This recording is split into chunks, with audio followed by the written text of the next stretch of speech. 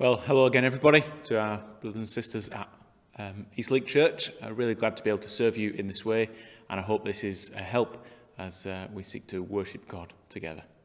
I'm going to start by uh, reading from Isaiah chapter 12. If you've got a Bible with you, you might want to turn to Isaiah um, just to read along with these words. What's going on so far in the prophecy is Isaiah has um, predicted or foretold God's destruction of both Israel and Judah. Uh, God's act of judgment. He's going to use the nation of Assyria uh, to sweep judgment across both um, parts of Israel. And yet, as part of that judgment and that foretelling of the judgment, Isaiah also uh, tells the Jews that God is going to protect a remnant of his people and that they will enjoy God's blessing and, provision and protection throughout the judgment that's coming. And not only that, that, that God will keep this remnant, but also God's salvation will one day spread throughout the entire world. All sorts of Gentile nations will be brought in to receive this blessing and provision and protection from God. And as he has foretold those things and, and given little hints about how that might happen, and the, the one, the root of David, the root of Jesse, uh, who is going to be the means of bringing that salvation. He then, in chapter 12, gives us uh, the hymn that God's people in that day will sing. Uh, and that's what we're going to pick up today in our reading. Isaiah chapter 12.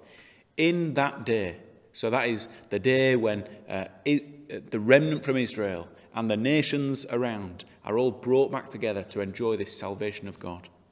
In that day, you will say, I will praise you, O Lord. Although you were angry with me, your anger has turned away, and you have comforted me. Surely God is my salvation. I will trust and not be afraid. The Lord, the Lord is my strength and my song. He has become my salvation. With joy you will draw water from the wells of salvation. In that day you will say, Give thanks to the Lord, call on his name. Make known among the nations what he has done, and proclaim that his name is exalted. Sing to the Lord, for he has done glorious things. Let this be known to all the world. Shout aloud and sing for joy, people of Zion, for great is the Holy One of Israel among you. Well, that remnant of Israel and uh, the number of Jews, uh, the number of Gentiles who are brought in to share that salvation uh, is not limited to a few in the Middle East. It is now spread across the whole world, and we rejoice that we are part of those people enjoying the salvation of God. And so these words that Isaiah writes are directly our words. We are those who, at one time, God was angry with, but now have received God's salvation. We are the ones who can sing with joy. We are the ones who shout aloud to, to the nations around us to tell them of the goodness of God. And that's what we intend to do in our time of worship this morning. Well, let's do that by singing our first hymn together Come, O Fount of Every Blessing.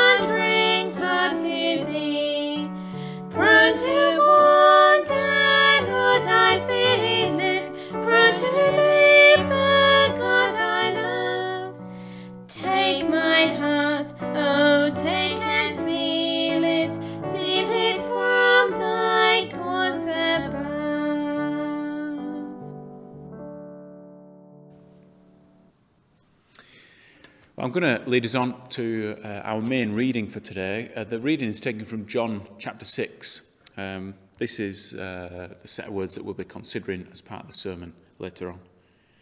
John chapter 6, and I will begin reading at verse 24. Once the crowd realized that Jesus, neither Jesus nor his disciples were there, they got into the boats and went to Capernaum in search of Jesus. When they found him on the other side of the lake, they asked him, Rabbi, when did you get here? Jesus answered, I tell you the truth. You are looking for me not because you saw miraculous signs, but because you ate the loaves and had your fill. Do not work for food that spoils, but for food that endures to eternal life, which the Son of Man will give you. On him, God the Father has placed his seal of approval. Then they asked him, What must we do to do the works God requires? Jesus answered, The work of God is this, to believe in the one that he has sent. So they asked him, What miraculous sign then will you give, that we may see it and believe you? What will you do? Our forefathers ate the manna in the desert. As it is written, He gave them bread from heaven to eat. Jesus said to them, I tell you the truth, it is not Moses who has given you the bread from heaven. It is my Father who gives you the true bread from heaven. For the bread of God is He who comes down from heaven and gives life to the world. Sir, they said, from now on, give us this bread.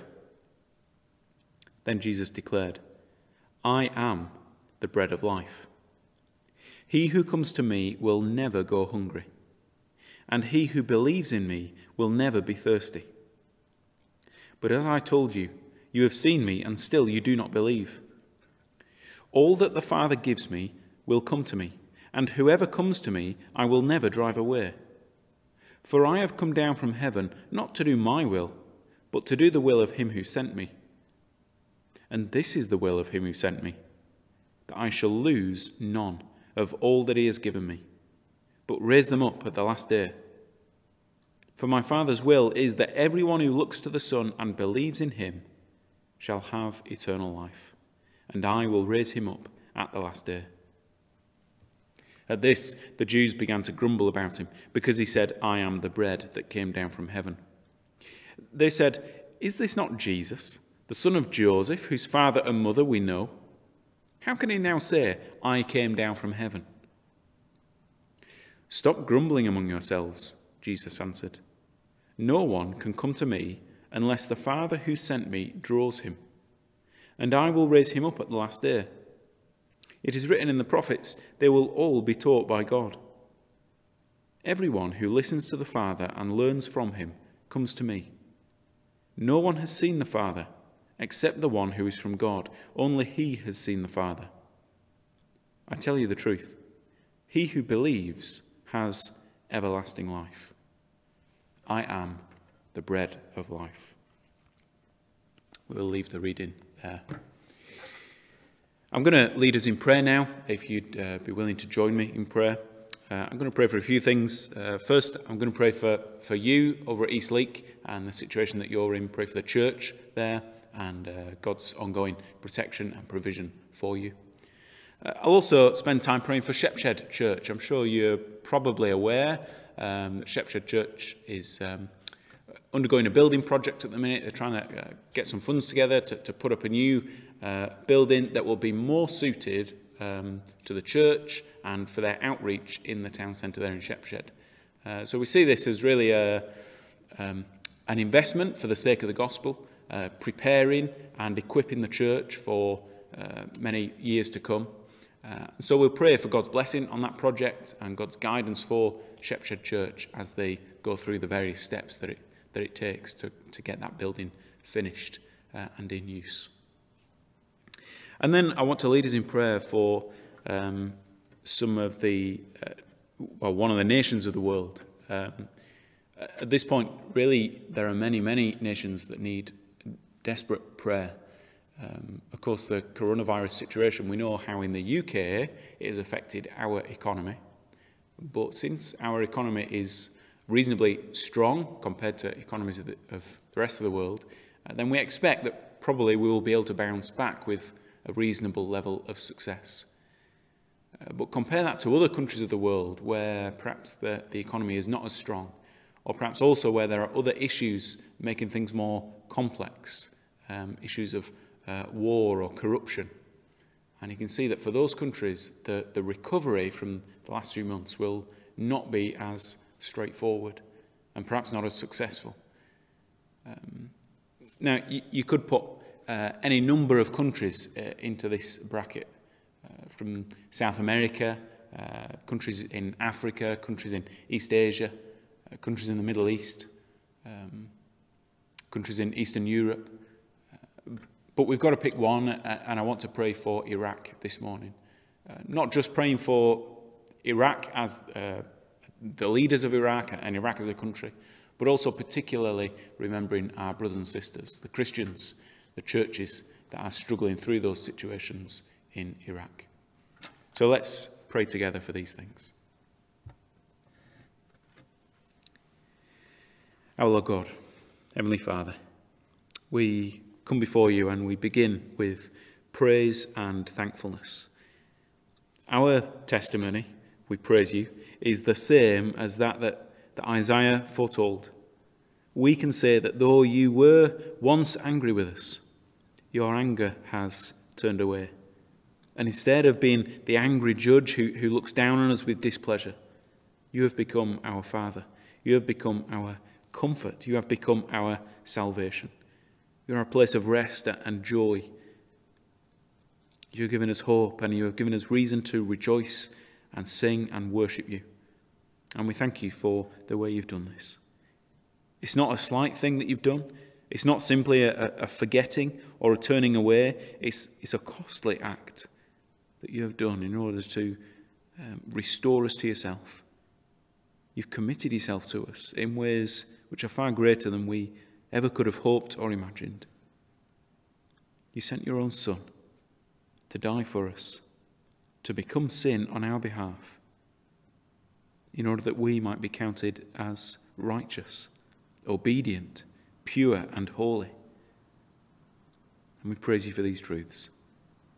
Thank you that you don't leave us alone either, but you've sent your Spirit to live in the hearts of each one of us, that you are present even with us in, in some sense this morning. We don't gather physically in a building, in a place like we once used to. But we know that by your Spirit you are present with each one of us, encouraging us, teaching us, opening our eyes to see and understand wonderful things from your word.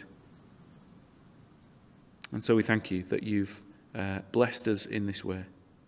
We thank you that your grace has not been restricted to that small remnant from Israel. It's not been restricted to, to the Middle East, but it has spread throughout history across the whole of the globe.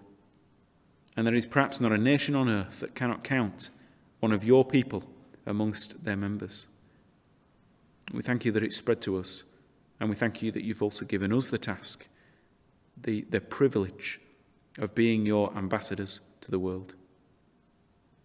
With that in mind, I would pray for the church at East Leake. Thank you for that church, that fellowship of believers.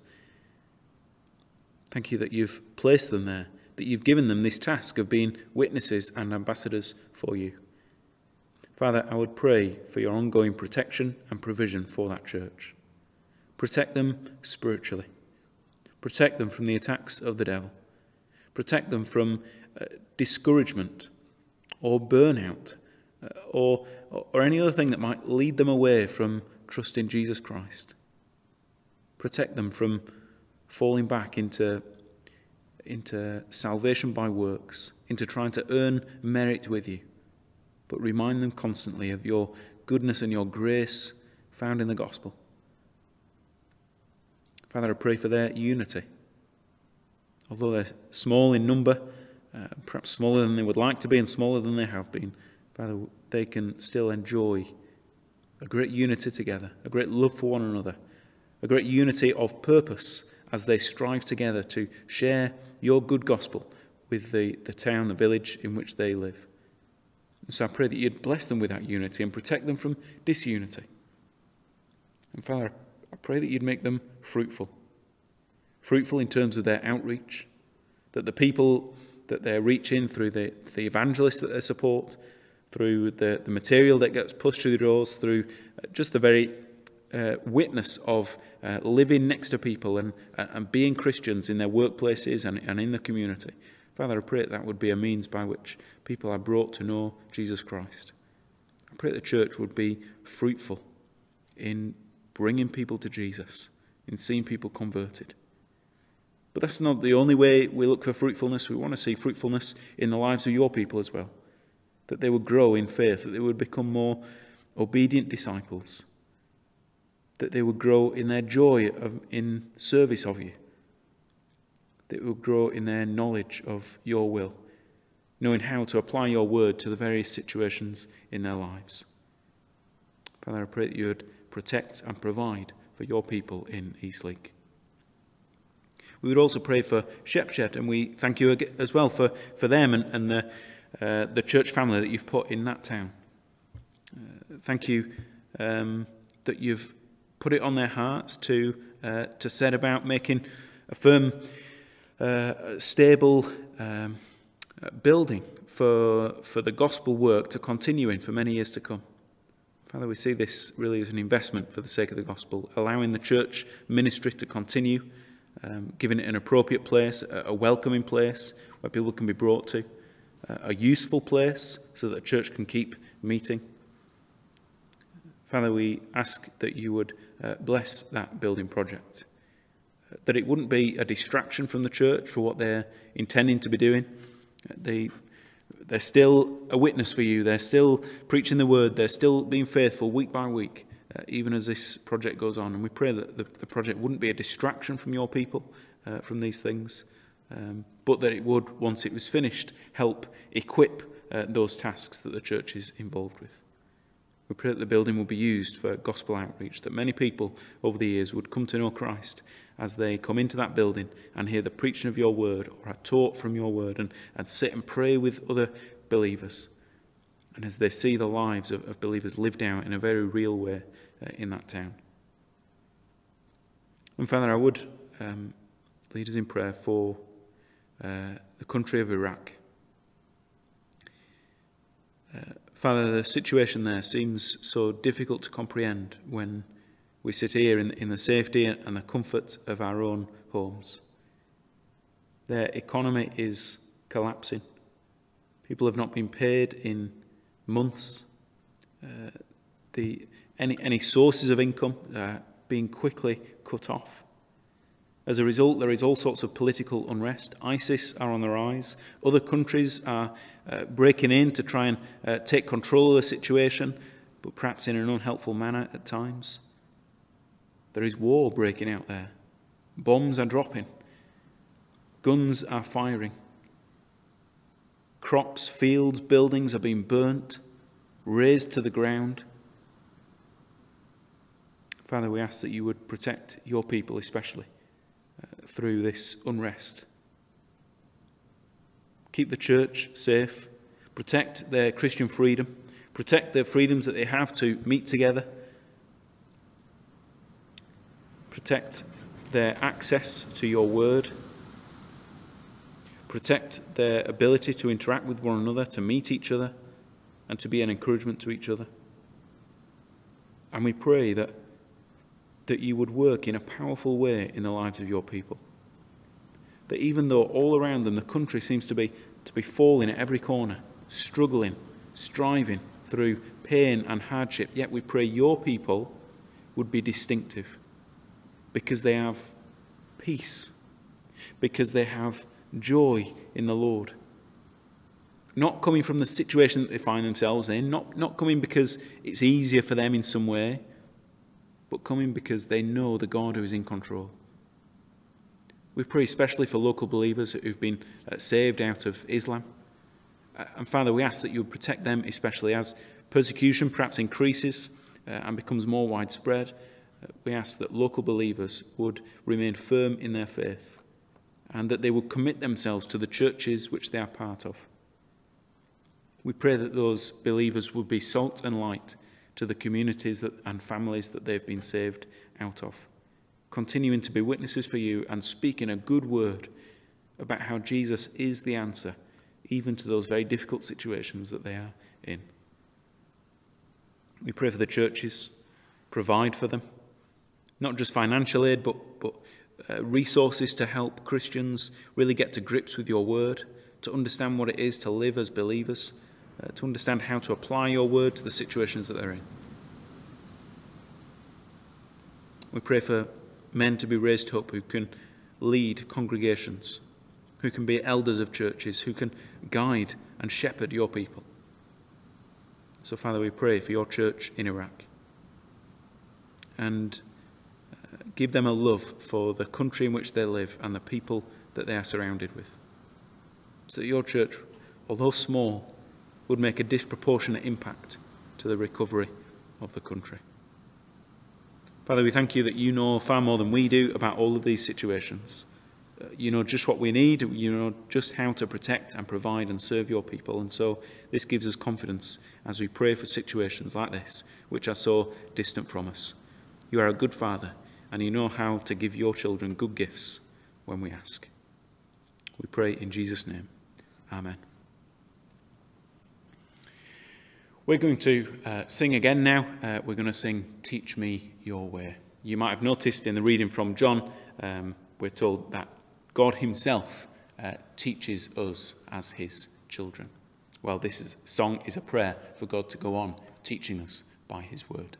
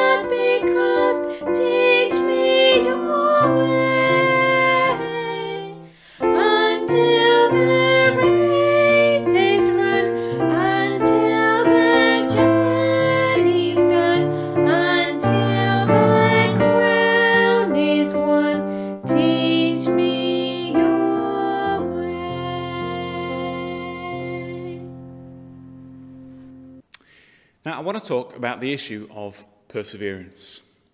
We all need encouragement to persevere.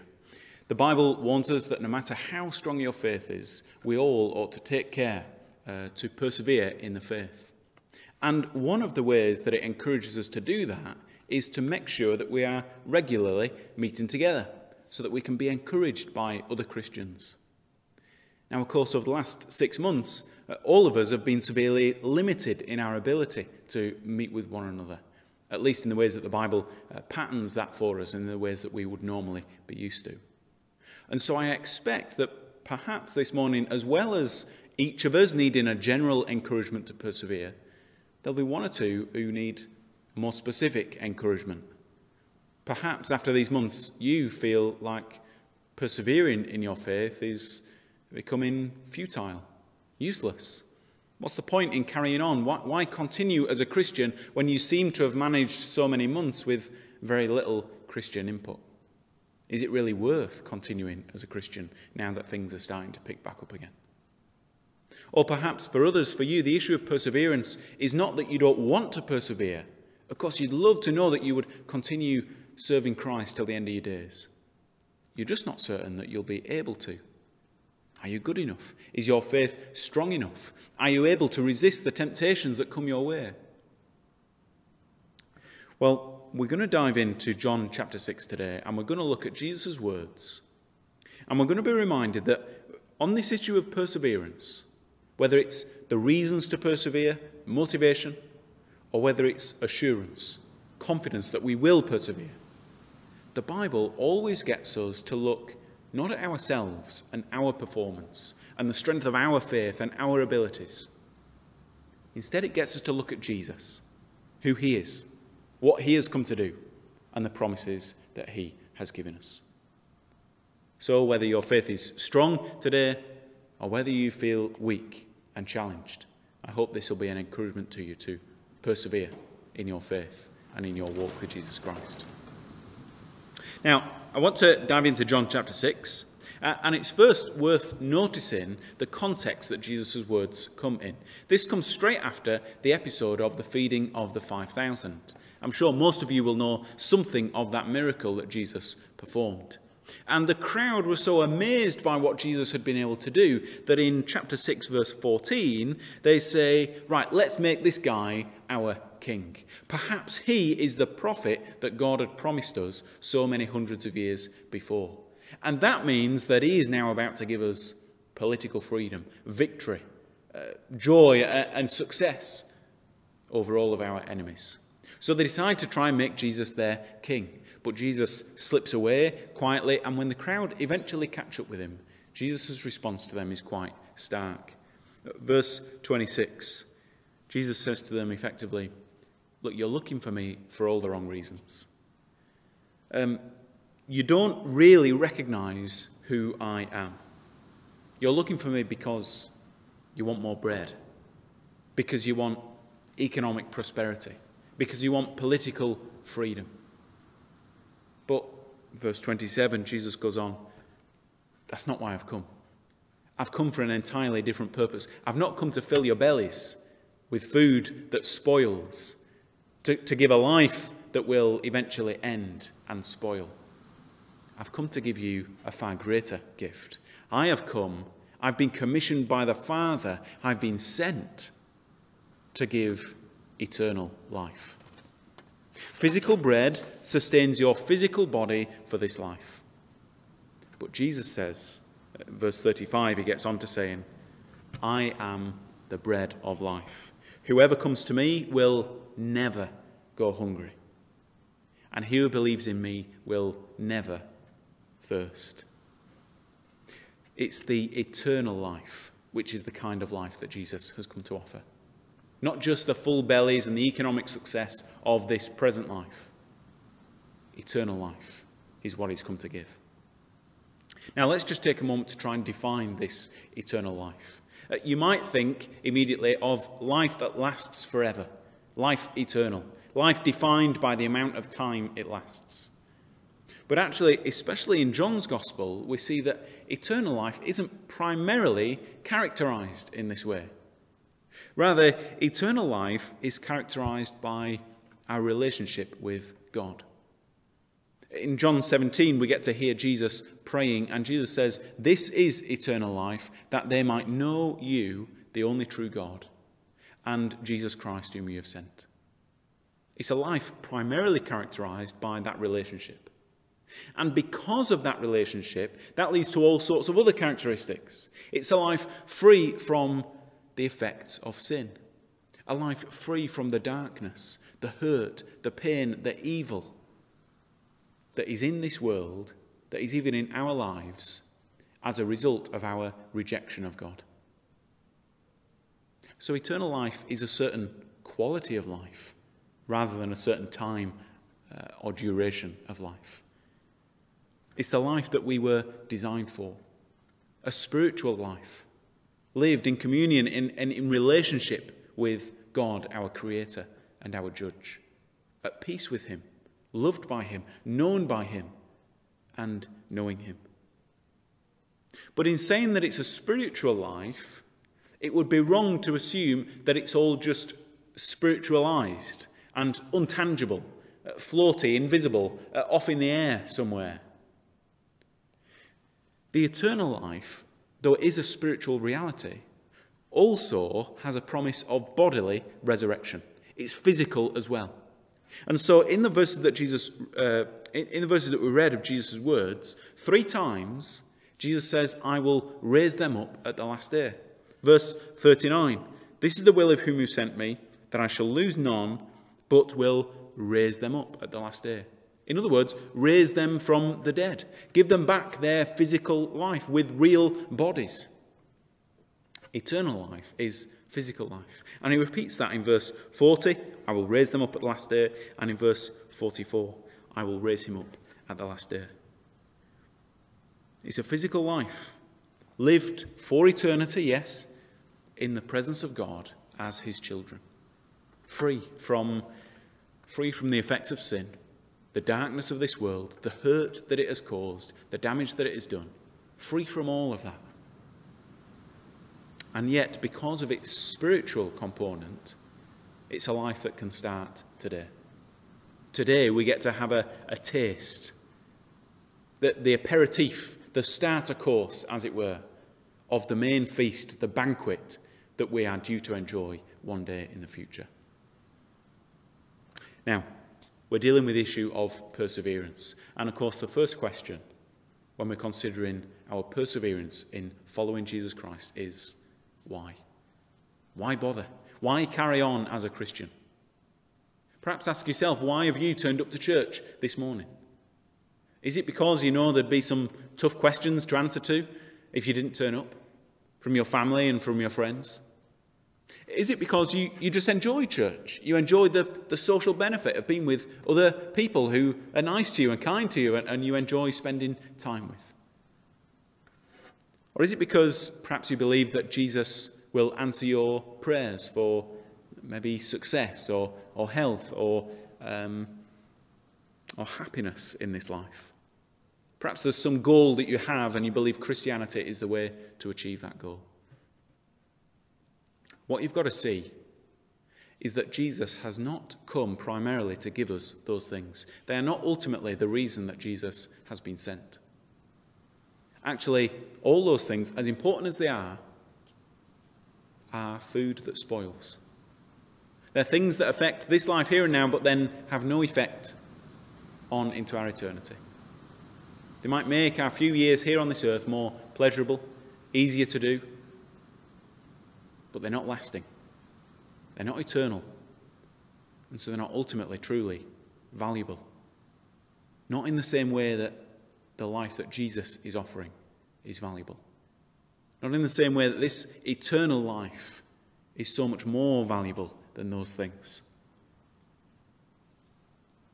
When we fix our eyes on the eternal life that Jesus is offering, we find ourselves with a far more secure motivation for persevering as a Christian. After all, why continue as a Christian if it's just for the sake of having friends? You can get friends down at the library or uh, at the gym or in the football club or, or wherever else. The church is not the only place to be part of a social circle who can support you and encourage you. It's just one example. But Jesus Christ is the only place that you can receive eternal life. Jesus Christ is the only place that you can receive the promise of your sins forgiven. Jesus Christ is the only place that you can receive the promise of being resurrected from the dead. Jesus Christ is the only place where you can know that one day you'll be free from all the damage and hurt that sin has done to this world. Jesus is the only place you can receive the eternal life that he is offering. And it's a life that is far more valuable than anything else that you could be chasing after in this world. So in verse 35, then, Jesus has offered himself as the bread of life. He's offered himself as the only true source of lasting satisfaction and happiness. But then in verse 36, he seems to anticipate an objection. Uh, not everybody who sees him accepts him, uh, especially the crowd around him. They've seen him, but they've not believed him, and so they've not received this eternal life. Uh, so, what does, what does that mean then for God's purpose in sending Jesus? What does that mean about uh, God's mission in sending Jesus to give this eternal life? Well, in verse 37, we see that Jesus is clearly not worried about God's plan being thwarted or defeated in any way. God's mission is not under threat. Verse 37 All that the Father gives me will come to me. Jesus is being given a people for himself. God has a people, that is a, a group, a, a set, set aside, and they are destined to receive the life that Jesus offers. And God is giving this people to Jesus, his Son. How, you might ask, how is God giving the, these people to his Son? Well, Jesus receives these people when they believe. He made that clear in verse 35. Um, whoever comes to me, whoever believes in me. So it's belief that, that is the, the means by which we come to Jesus and he accepts us. So, how does God achieve this belief in us? Does he do it by overriding our emotions and our wills and our thoughts, forcibly changing us into, into people that, we, that he wants us to be? Not at all. You know, the only requirement the only requirement for coming to Jesus, for receiving this gift of life, is that we believe in him. And God achieves this belief in us not by constraining our will in such a violent and forceful way, but by drawing us, Jesus says. Uh, verse 44, he says this No one, no one, actually, no one can come to me unless the Father who sent me draws him. That is, woos him, wins him or her. Uh, and in verse 30, 45, he goes on to, to describe it in the same way. This is being taught by God, God opening our eyes so that we, we've got the ability to turn from the sin that, that once controlled us and choose the life that Jesus is offering. He doesn't force us and shove us. He frees us and draws us and wins us. He teaches us. And this is in line with uh, verse 45. Jesus says, All that the prophets have been telling you about.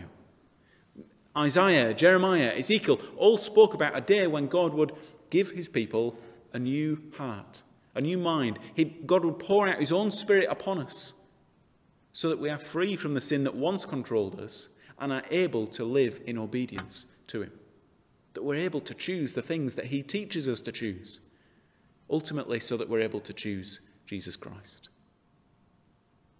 Now, what that means for our perseverance is that if you are a person who has faith in Jesus Christ, and I mean real biblical faith, uh, notice the crowd, for example, recognized Jesus as someone great and good.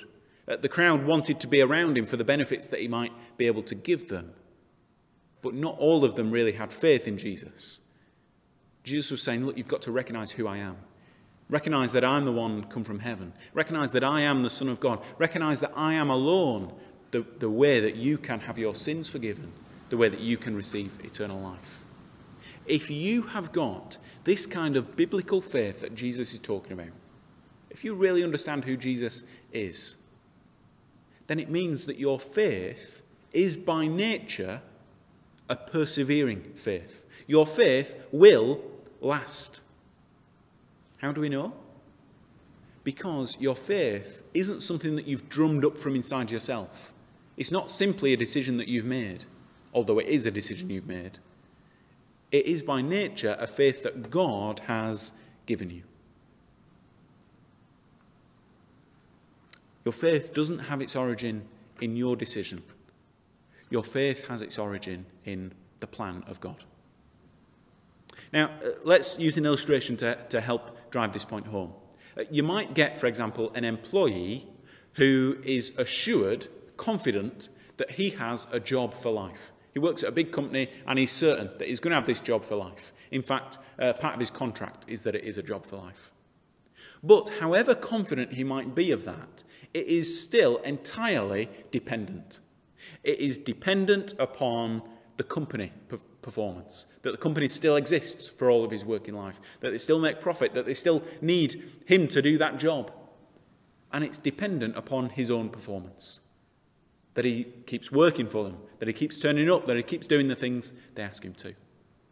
And so he might say he has confidence, but, but it's a limited kind of confidence. Contrast that to the confidence that a child might have that his parents will continue to be his mother and father till the day that they die. They will always be his parents. Now, that confidence is an entirely different type of confidence. That, that will last, but it's not dependent on anything that he does. Instead, it's just the nature of him being born uh, by, by his mum and being fathered by his father. It comes out of his status as a child. Now, sure, his, the actions of that child might either strengthen or weaken that relationship with the parents, but his status will continue to be the same. He will continue to be a child of his parents. In the same way, our faith, if it's been given by God, will persevere because it doesn't come from us and it's not dependent upon our performance or the performance of any other. Instead, by its very nature, it is a gift of persevering faith. It is faith that lasts.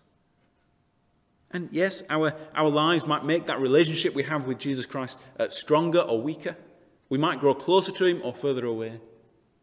But we know that if this faith has been given, it is faith that will persevere. Our faith is a work of God, planned from before eternity, promised through the prophets for hundreds of years, made possible through the work of Christ, and finally realized in your life today as you turn from sin and trust in Jesus. But you know, the, the incredible thing is that this truth of the Father's drawing and giving a people to Jesus doesn't stand alone in these verses uh, as the only comforting truth. There is yet another truth that is given to comfort us, encourage us, and help us to persevere in our faith. And that truth is that Jesus is not just given a people, but that Jesus is actively working to preserve his people. Have another look at verse 37. All that the Father gives me will come to me. We've just thought about that. But now, whoever comes to me, I will never drive away. Whoever comes to me, I will never drive away. You know, this verse is often taken to mean that anyone who desires to become a Christian is welcome. As though Jesus is like the bouncer at the door, and, and everybody who wants to come in is welcome to come in. He won't turn a single person away. Now, that is a gospel truth. Whoever wants to respond to the invitation that Christ gives is invited to and welcomed to respond. But Jesus means to say more, so much more. Jesus means to say that once you have arrived, you will never again be pushed out. Once you have arrived, you will never again be pushed out. Once you've been taught by God to accept Jesus, you will never again be rejected by him. It's only in this sense, really, that verse 38 and 39 make sense. God's will, verse 38, um, I have come down from heaven not to do uh, my will, but to do the will of him who sent me. Jesus is not doing his own will, he's doing the will of God. And this is the will of God that I shall lose none of all that he has given me. And so, for this reason, whoever comes to me, I will never drive away. If Jesus is only welcoming us in at the door in verse 37, then what is to stop us turning round and leaving again? How do we know that we will persevere? He might welcome everyone, but can he really keep everyone? Now, when Jesus says he will never drive you away, he's saying that his people will continue as his people because he keeps them. He treasures them. He protects them. He loves them. He guards them so that they will persevere in their faith right up until the very end, until the last day when they'll be raised up with him. Now, maybe you hear the remarkable stories of Christians in the church, uh, perhaps at home or abroad, through history, who have had a level of faith which allows them to endure suffering that you think you're just, you just wouldn't be able to, to endure. Perhaps you think um, you're concerned about whether you would manage to persevere if you faced those similar persecutions and those difficulties and those hurts. Well, Jesus' words in verse 39 ought to bring you massive encouragement. He will not lose you. And just like He's able to provide grace and faith for you to endure the trials that you face today, just like He was able to provide the grace and faith for those other Christians that you look up to to, to endure their trials, so He's able and He will provide you the grace and faith if and when those trials eventually come in your life. You know, if you are not kept as a Christian, it is because Jesus has either been unable to keep you or disobedient to the Father's will. Which of those do you want to accuse him of? That, that your sin is so great that he's unable to keep you in his fold? That totally goes against everything that the New Testament teaches about who Jesus is and what salvation is. Do you want to accuse Jesus of being disobedient to the Father? That he decided that, that you'd be the one that, that would be okay to let go this time? Blasphemy. Jesus is neither unable nor disobedient to the Father.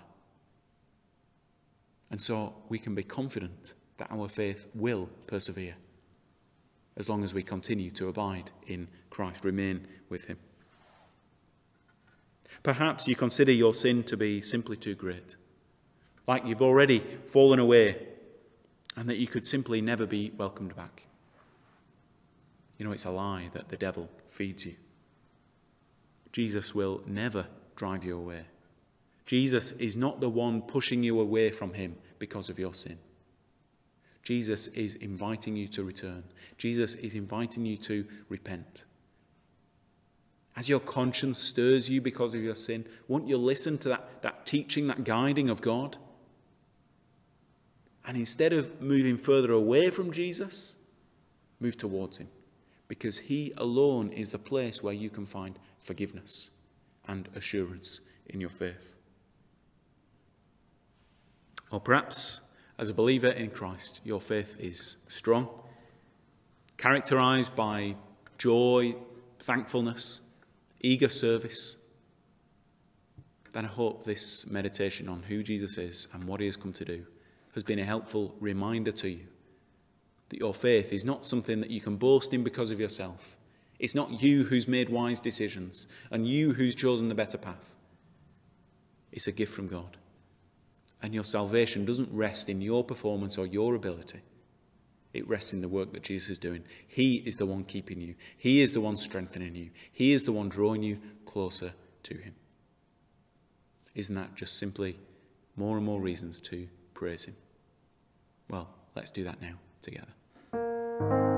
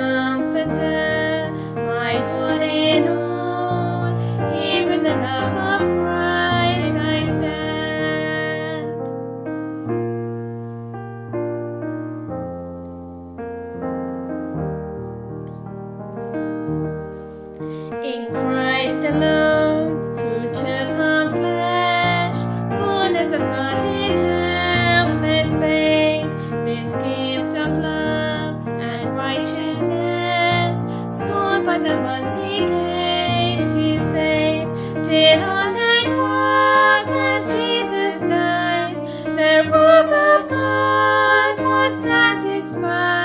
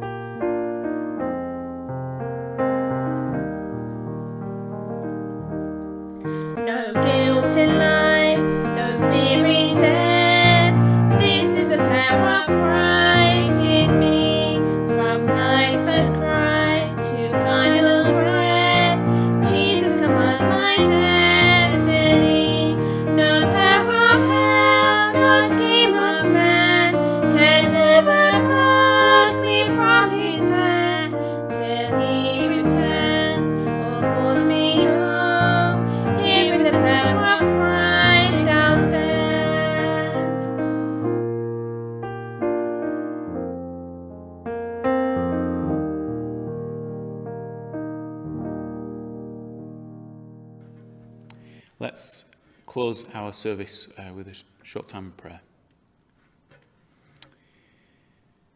No power of hell, uh, no scheme of man can ever pluck us from his hand. Father, what an encouraging truth that we are protected, preserved by Jesus Christ, our Saviour. He lives and acts on our behalf to protect us and keep us in this faith. We pray for any who are particularly struggling in their faith right now. Father, would you encourage them with what we've been hearing this morning? And for all of us, we pray that you'd remind us not to look to ourselves to see strength and assurance in our faith, but to look to Jesus Christ, the one who died on our behalf, the one who keeps us in his care. In his name we pray. Amen.